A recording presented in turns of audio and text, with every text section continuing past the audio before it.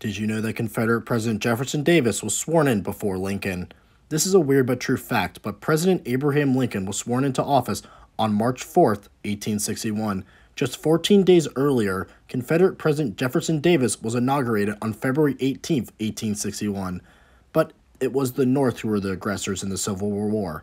Right, Lost Causers? SMH, you guys.